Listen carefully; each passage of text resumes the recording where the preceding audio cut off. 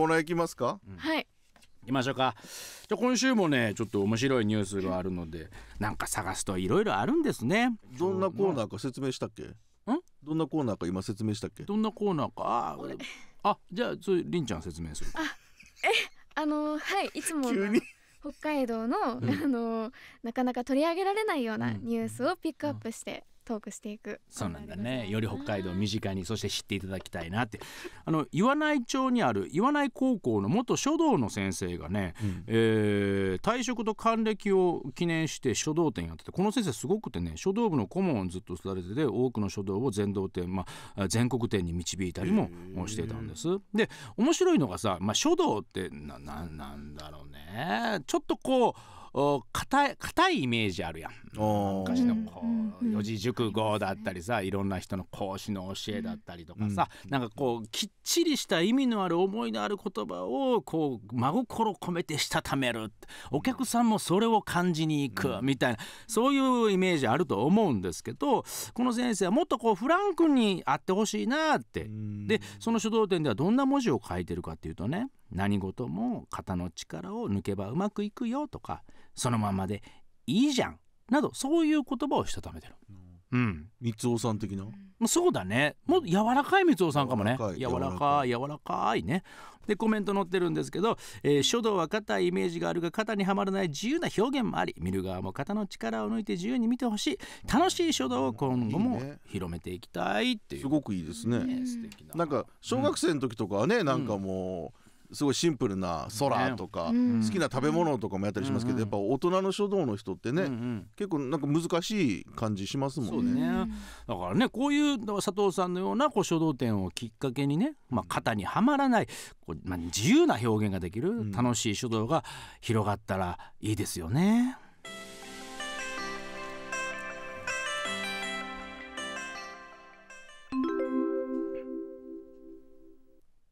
今日は岩内町で開催中の見たら書道が楽しくなる展示会に来ています。この会場にあるすべての作品を手掛けた書道家の藤尾仁さんです。こんにちは。こんにちは。藤尾さん見たら書道が楽しくなる展示会とはどういったものなんでしょうか？うんそうですね。書道といえば硬いイメージがあるとは思いますが私の書道展では見る人も肩の力を抜いて身近に感じられる作品を展示しています。そうですか。早速案内してもらいましょう。まず最初の作品は？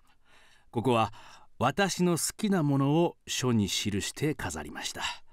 まずこちらの作品が天丼ですね。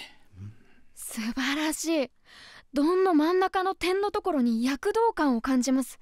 天丼がお好きなんですか？ええ。私は丼の中で一番天丼が好きなんですよ。丼の中で？サクサクしてて美味しいでしょう。丼の中でじゃなくて？美味しいですよね。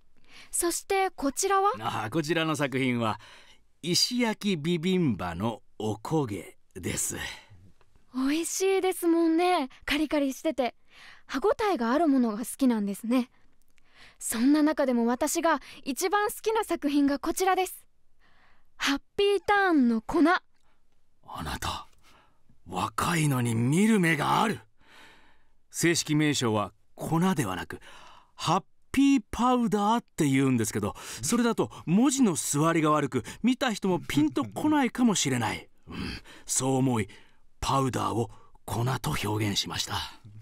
こだわりが素晴らしいですねとここからはまた違った作品が飾られていますが。あこちらは私が若い人に伝えた印象的な言葉を記しました。まずこちらの作品が「夜遊びはいかん」え歌手なの？と書かれていますがこれはどういった時に？ああこれは若い人たちが夜遊びいいよねと言っていたので私が夜遊びなんかしたらいかんと欲しかったら歌を歌うアーティストだよと教えられた時のやり取りを書に記しました。そうでしたか。続いてこちらが「タピオカは食べないで飲む」「タピル」とタピルの部分に特に力強く太字で書かれていますがこちらは？今日長くない？私たちの時代タピオカは白くスプーンで食べるものでした。それが今は飲むものでタピるものだと聞いたのでそれを書に記しました。そうでしたか。と残念ながらここでお時間となりました。書道が楽しくなって身近に感じられる藤尾さんの書道展。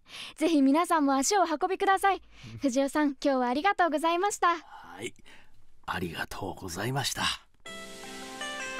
ちょっと待って。えちょっと待って。あのー、長くないです。え何分やりました今日？しみるよね。いやいやじゃあしみるしみないじゃなく。一文字がこうしみるようんね。いや相沢先生ちょっとここエネルギーちょっと使いすぎてきてません？台本書くの。いい1ページ1ページあ確かに1ページやけど今まで見てる台本よりめっちゃこのびしびっしり文字ありますねなんか。もうもうちょっとスカスカやったなこの前見たやつ。正直あの開業してもらった方が今回は読みやすかった。そしてね、あのーこのコントのために1曲目夜遊びにしたんでしょ多分。